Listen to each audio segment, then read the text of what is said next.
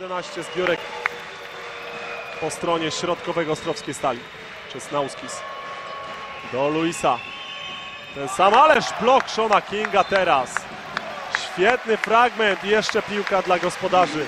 Odzyskali wigor, odzyskali wiatr w żagle koszykarze gospodarzy. Pewnie e, również e, za pomocą dopingu miejscowej publiczności 51 do 40 znów.